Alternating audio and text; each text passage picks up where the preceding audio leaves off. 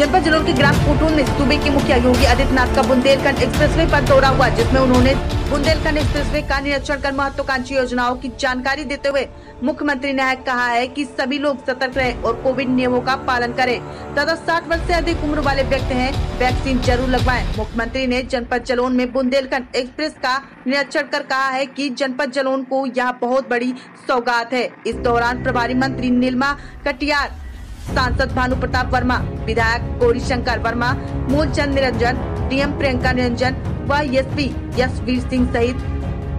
आला अधिकारी मौजूद रहे। जिला ब्यूरो चीफ अनुज कुशवाहा के साथ क्राइम ब्यूरो उपेंद्र कुशवाहा की स्पेशल रिपोर्ट।